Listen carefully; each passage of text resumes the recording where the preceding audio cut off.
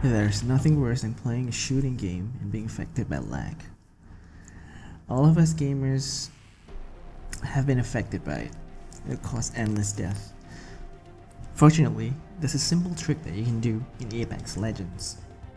For PS4 and Xbox One, wait for 2 minutes on the title screen, enter accessibility settings and exit. Press L3.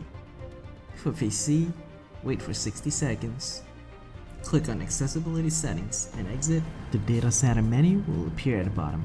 Click on it. Here is how it looks like in PC.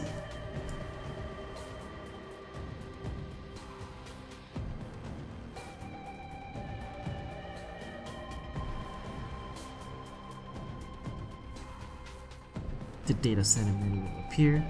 Choose the server with the lowest ping. Hope this guide will help you in reducing lag in Apex Legends. Like and subscribe. Thank you for watching.